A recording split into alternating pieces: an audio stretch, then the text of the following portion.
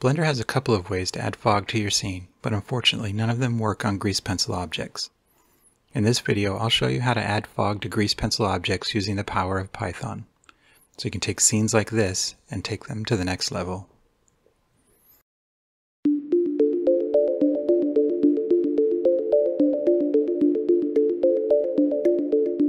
If you use any 3D animation program for long enough, you're going to run into a situation where the program doesn't do something you need it to.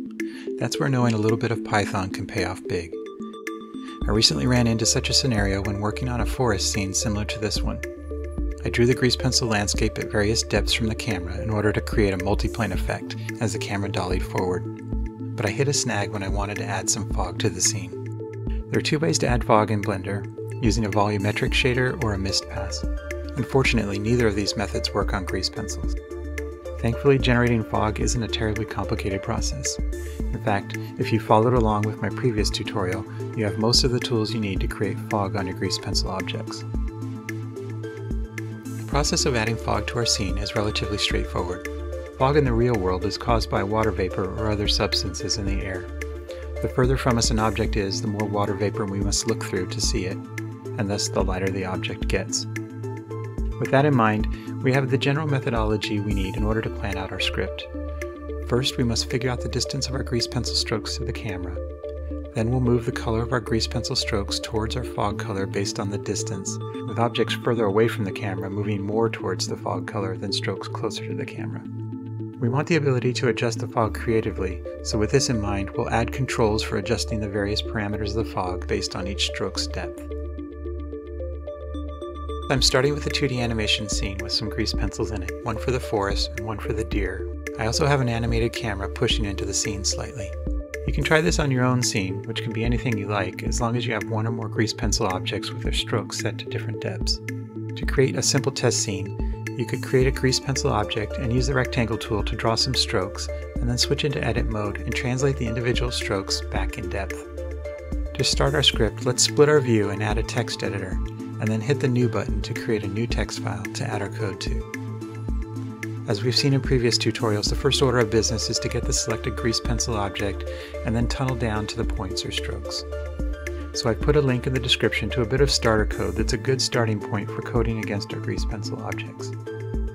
We'll paste that code into our text editor and give it a test run with our grease pencil selected to make sure it works as expected. We can toggle the console output to see the shell and see that it has printed out the position of each point in our grease pencil. Before we can get down to brass tacks with adding the fog, we need to have our code manage the objects in our scene. In this script, we need to know which of our objects is the grease pencil and which is the camera, so we'll set it up so that the user has to select one or more grease pencils and one and only one camera. We'll begin teasing out the selected objects by checking their type. Those objects with the type G pencil gets added to a grease pencil list, and those with the type camera get added to the cameras list. We'll then add some error checking to make sure that there's at least one grease pencil selected, as well as one and only one camera selected. If these criteria are not met, the script prints out the error and stops executing. Otherwise, we proceed to the main body of our script. We'll cycle through each grease pencil in our grease pencils list to add the fog, in doing so, we'll be making a lot of changes to the drawing. So to give the user the ability to go back to their original drawing, we'll duplicate any selected grease pencil objects and perform our changes on the duplicate. To keep things tidy, we'll create a duplicate function into which we'll pass our object. In addition to duplicating the object, we'll potentially need to copy its data, animations, and which collection it lives in, so we'll add parameters for that with a default value of true. Inside our function, We'll copy the object using its built-in copy function. Then we'll copy the object's data. Blender stores animation information in an object's actions, so we'll copy any actions that it might have. We'll then link the copied object to the collection that has been passed in as an argument. And lastly, we'll rename the duplicate object with the suffix fog. At this point we have duplicate objects, but they still share the same materials as the original, which means that any material changes we make to the copy would also affect the original. To fix this issue, we'll get a list of materials from the copied object's materials attribute, and then we'll cycle through that list and make a copy of it with its copy function, and we'll rename it with the suffix underscore fog. A stroke is associated with a material by an index number only. Therefore, it's important that the material list on our object copy have the same number of materials in the same order as the original. The simplest way to do that is to just replace the current material with the duplicated material in our materials list. This way, the new strokes will automatically reassociate themselves with the new materials. Back in the main body of our code, we'll add a call to our new duplicate function. We'll pass it our grease pencil object as well as the collection it lives in. We get its collection by querying the original object's user collection list and getting the first item in the list. Next, we'll hide the original grease pencil object by setting the hide viewport and hide render attributes to true. This hides them from both the viewport and rendering. Now we're ready to give our code a test run. We select the grease pencil objects we want and one camera. Now we have duplicate grease pencil objects in our scene with the suffix underscore fog. But unfortunately, we've also run into a bug in the Python API. Let's say that we wanted to return back to our original grease pencil objects and rerun the script. We should be able to delete the objects and turn on visibility of the originals by clicking on the eye icon in the outliner. But doing so has no effect at the moment. It remains hidden. To turn back on the visibility of the originals, we need to go into its object properties and under the visibility section, check the viewports checkbox. Now we can see our original objects again. The render icon seems to function fine, it's just the viewport visibility that has this issue. There are probably ways around this, but it would bog down our code and make things confusing for now. So for the purposes of this tutorial, we'll just live with it and fight that battle another day. In order to calculate the distance from our grease pencil strokes to the camera, we need to know where the camera is. So we'll create a new function to do this called getCamPosition, into which we'll pass a camera. We'll also be passing in a frame parameter so we can query the camera's position without actually having to change the timeline to that frame. We'll start by initializing a variable for the location with zero values for x, y, and z. If an object is animated, the animation data will be located in an attribute called animation data. If there is data, then we check the action attribute and get the action's name. We then fetch that action from the bpy.data by name. Next, we cycle through any f-curves on the action and call the evaluate method on them, which returns the value for any animated attributes for the given frame. We then tease out the location of the curve values and add them to our location variable. If the camera is not animated, the process of getting its position is much simpler. We query the camera's location attribute and we're done. Now that we have a function for getting the camera's position, we can call it from the main body of our code. Because every frame of a grease pencil object is effectively a new drawing, we want to get the camera's position anytime there's a new keyframe on the grease pencil object. So we'll add our call to the cam position function just as we start cycling through our grease pencil frames. To determine which frame the grease pencil's keyframe is on, we'll query the frame's frame number attribute and pass that to our get camera position function. And we'll store the position in a cam position variable. If we add a print statement and run the code now, we should see the camera's position printed to the shell. In my scene, it printed out multiple times because I have multiple layers on my grease pencil object. Before we dive into changing our stroke colors, let's take a quick look at how Blender applies color to grease pencil strokes. All grease pencils must have a material to render properly. This material controls whether we see the stroke, the fill, or both. The material also sets the look of the grease pencil, determining whether they are rendered as dots, lines, textures, gradients, etc. The user has two ways of defining the relationship between the material and the vertices of the stroke. Using a button on the top toolbar, they can draw in either material or vertex paint mode. When using the material mode, the strokes draw exactly as they're defined in the material and remain connected to that material. If the material is changed later, the strokes update as well. If the user clicks on the vertex paint mode button, Blender uses the color swatch next to it to define the color of the stroke. When using this mode, the material no longer affects the color of the stroke or the fill, but it still affects the other attributes. Back in our scene, we'll start by adding some variables to control our fog. We create min and max distance variables to specify the range within which the fog will be applied. We'll also create a tuple for our fog color which contains the R, G, and B values as well as an alpha value. It would also be handy to be able to control the overall strength of the fog effect, so we'll add a fog multiplier variable. And then we'll compute a final fog color by multiplying this variable times the fog color values. Lastly, we'll define a falloff variable which controls how quickly objects fade off into the fog. Further down in the code, at the stroke level, we'll add a call to our yet to be created function called add fog, and we'll pass in our settings. Now we'll start creating our add fog function. We'll pass in the grease pencil stroke, the camera position, the min and max fog distances, the fog color, and the fall off. Because the fog color is dependent on the stroke's distance to the camera, the first order of business is to determine the position of the stroke. As we've seen in previous tutorials, strokes don't have transforms of their own, so we'll borrow a function from these tutorials called getCenterPivot. This function gets the position of all the points in the stroke and then calculates the average position. This will give us a reasonable approximation of the center point of the stroke to use in our distance calculations. Now that we have the positions of our camera and stroke figured out, we can compute the distances between them.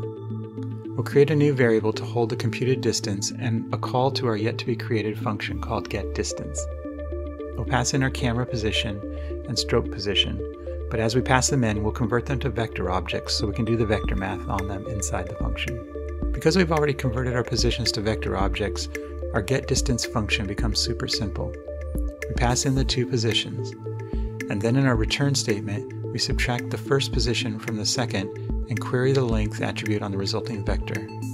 The vector library takes care of the rest. If we now print out the computed distances, we can see the depth of each stroke from the camera. In order to compute the amount of fog for any given distance, we'll need to normalize that distance based on the min and max distances of our fog. I discussed normalization in my previous tutorials, so I won't belabor it here, but we'll borrow the normalize function again to make things easy. We'll then pass our distance into the normalize function, as well as the min and max fog ranges. This will return a value between 0 and 1 where the distance of our stroke lies along that scale. And now we're finally ready to start changing the color to simulate our fog. In order to preserve the user's current settings, we need to change the color of both the materials associated with each stroke and the colors on the stroke itself. On each of these, we'll need to set the colors for both the fill and stroke. We'll start by setting the colors on the stroke's points first. We begin by capturing the current color of the point by getting its vertex color attribute. We convert it to a vector object and store it in a variable. To calculate the fog, we need to move the current color towards the fog color in a proportional manner. For the time being, let's assume our fog color is white. That is an RGB value of 1. For each of our channels, we can calculate the difference between our fog color and the current color by subtracting the current color from the fog color. To apply the proportionally correct amount of fog based on distance, we now simply multiply this difference by the normalized distance. If we're to use this formula as is, we'll get a linear fall off to our fog.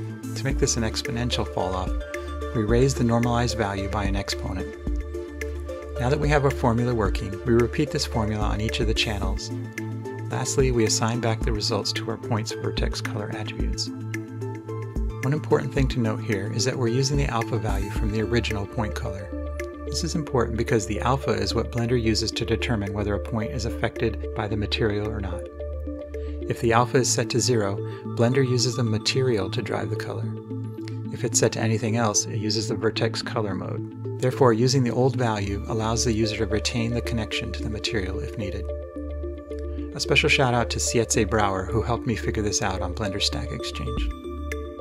Changing each point's vertex color attribute modifies the stroke color, but to modify the fill color, we need to change the fill color attribute on the stroke itself. To do this, we'll query the stroke's vertex color fill attribute the same way we did for points. We use the same formula and we set the results back to the vertex color fill attribute. Again, we preserve the original alpha value to retain the material connections. Because we're retaining links to the original material, we must also apply our fog to the strokes material as well. First, we get the material by querying the current stroke's material index and fetch that from the grease pencil's material list. The stroke color on the material is in the color attribute, so we apply our fog formula based on those values and set them back to the color attribute on the material. The fill material is on the fill color attribute, and we set the fog on it in the same way.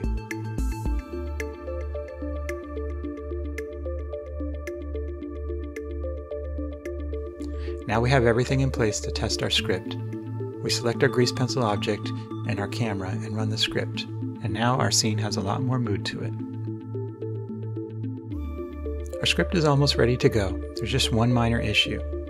When working on my scene, I noticed that the deer wasn't picking up the correct amount of fog compared to the other objects in the scene. I eventually tracked this down to an issue with my distance calculation.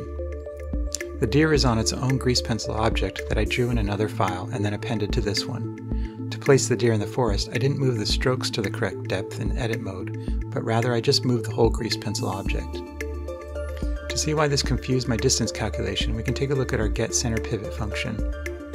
For each point in the stroke, we query the points.co attribute. This returns the point's position, but it returns the point's local position.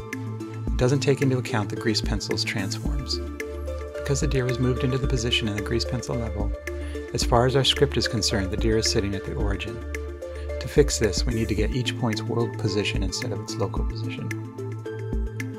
To do this, our get center pivot needs access to the grease pencil object's transforms so in the main body of our code, we'll add a parameter to the add fog call where we pass in the grease pencil GP. We'll add that to the add fog parameters, to the call to the get center pivot, and to the get center pivot function itself. Now our grease pencil object is being passed all the way down to where we compute the stroke's position. Inside the get center pivot, we can now modify it to get the world position of each point. We'll start by grabbing the .co values and storing them in a variable called plocal. We'll compute the global position by combining the grease pencil's matrix world value by the values in plocal and store that in a pglobal variable. Then we simply switch out our calls to p.co with pglobal. Fix a typo and voila. Now that our fog is working, we can adjust the settings however we want. The scene seemed like it could use a bit of a warmer fog, so I reduced the amount on the blue channel to warm it up a bit, but we could just as easily imply a forest fire, or the gates of hell, or Pandora, or, well, you get the picture. Have fun playing with this and let me know in the comments what you think. Thanks for watching.